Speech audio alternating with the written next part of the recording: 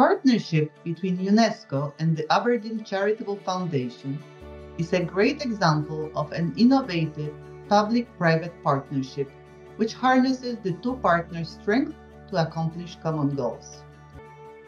Be expected to implement three interconnected components, namely, a research component related to UNESCO's international science programs, an education component related to promoting education for sustainable development, water education, and ocean literacy. And finally, an innovation component to promote innovative green and blue solutions for sustainable development. First year of the project, five sites were selected. St. Naum Springs in North Macedonia, which is part of the Ohrid-Prespa Transboundary Biosphere Reserve, the Asterousia Mountain Range Biosphere Reserve in Greece, the Tuscan Islands Biosphere Reserve in Italy, Kozjansko and Obsotelje Biosphere Reserve in Slovenia, Brighton Lewes and Downs Biosphere Reserve in, in the United Kingdom. The project, it aims to promote sustainability through research, through education, and through innovative solutions to environmental and climate change challenges in selected UNESCO sites. We can use our voice as investors to drive change in the investments we're making and also in how we allocate our capital. However, our power beyond that is quite limited. And as such, I was really excited when the abrdn Charitable Foundation decided to join forces with UNESCO to form a powerful partnership that funds really groundbreaking research on the ground on biodiversity and environmental issues.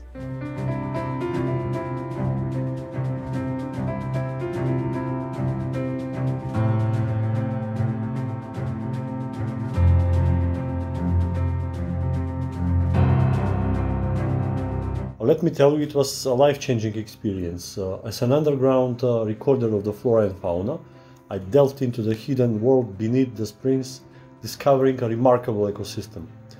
Witnessing the abundant ecosystem services they provide was awe-inspiring. I'm grateful for this unique chance to contribute to the preservation of our natural heritage.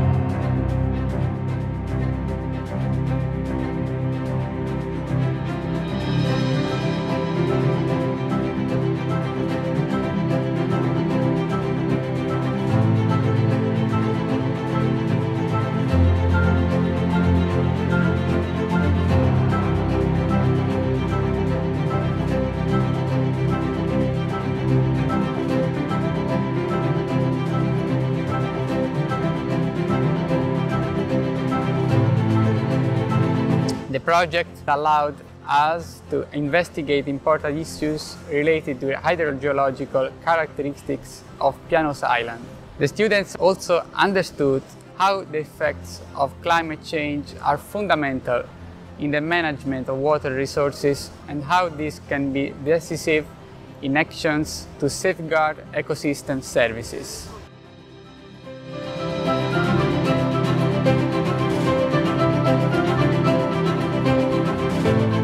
Biologist, I believe projects like this are very important for the conservation of dry matters. Monitoring plant and fungi species in these areas provide valuable information about the matters and helps us understand what is necessary to protect them.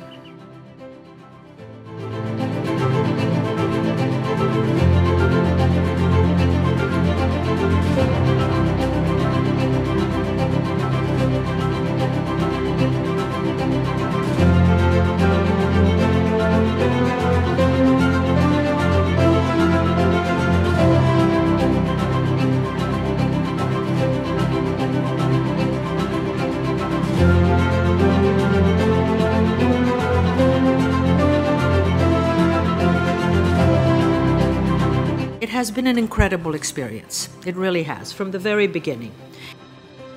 AIM is to focus on two things people and planet.